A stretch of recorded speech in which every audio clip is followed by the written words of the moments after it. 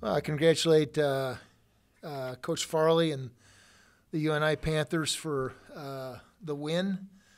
Uh, to go on the road in the Missouri Valley and get a win is is uh, tough to do. We know that, and they came in here. We had a great crowd, um, and they got a win. And credit to them. Um, in my subjective opinion, which I try to be objective, we did not come close to playing our best football.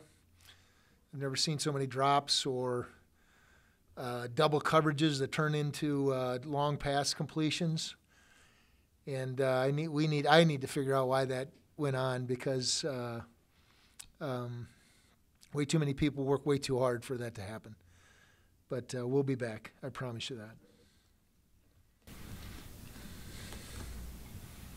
John, is there something about uh, Hobo Day that you know has become some sort of bugaboo for you guys? There are times where you come out and, and against Northern Iowa at times and, and just haven't played well on this one. You know, I, I don't know that. I thought about that. Uh, it's at home, maybe. You know, we've had two tough losses uh, at home, SIU and Northern Iowa, and, and uh, to me, it's it's worthy of addressing and saying, uh, are we are we staying put? Are we going to bed on the right at right time? Are we you know are we doing? And, and only the players know that because we don't put them in hotels at our level and and take care of them. But uh, uh, I believe in our players. I love our players, and, and I believe they're doing things right. So I don't I don't know if it's what it is, Matt. You mentioned the drop passes. Other than that, and, and certainly not to minimize Matt, that there were a ton of them. Uh, what other struggles were there on offense that you saw?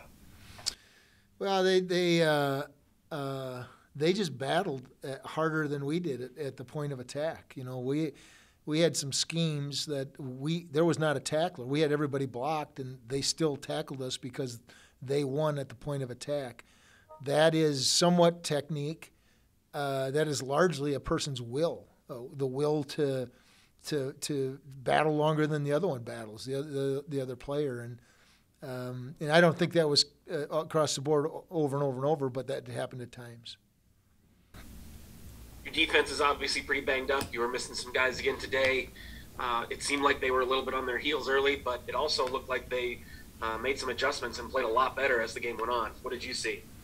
Well, we are beat up. There's, there's no doubt about that, and and uh, I think uh, honestly, other than the three long passes that were essentially two of them were, were double coverage. I mean, called double coverage. Uh, we played really well. Uh, we played well enough on defense to win. You know, we give them the ball with the with the turnover early in the game on wh- whatever the 14 yard line.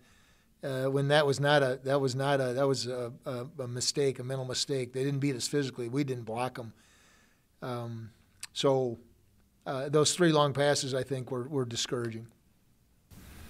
I know you don't try to like you know assign blame, and that's not what I'm trying to do either here. And, and you don't want to pin the offense versus the defense, but when the defense is as banged up as they are, and they're playing as well as they are, trying to fight to keep you in the game, is it you know disappointing that the offense didn't kind of find a way to, to step up because they don't have as many injuries and they have a lot of guys uh, that have a history of success.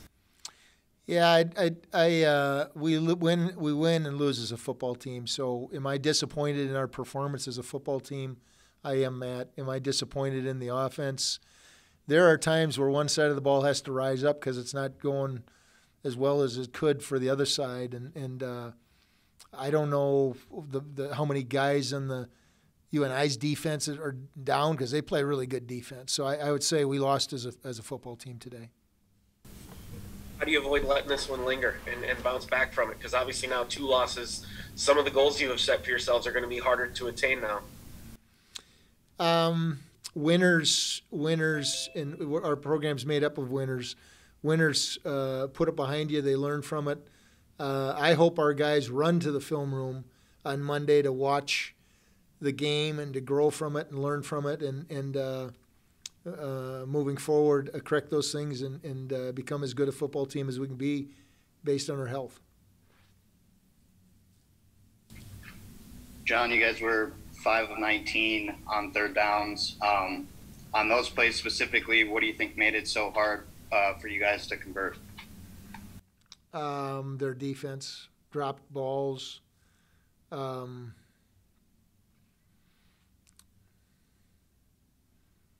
I would say those two things. I think we dropped a lot of balls in those situations. Uh, also on fourth down.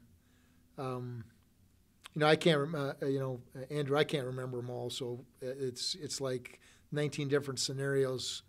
But five. The point is this: five out of 19. You're not going to win a lot of football games, being a five out of 19.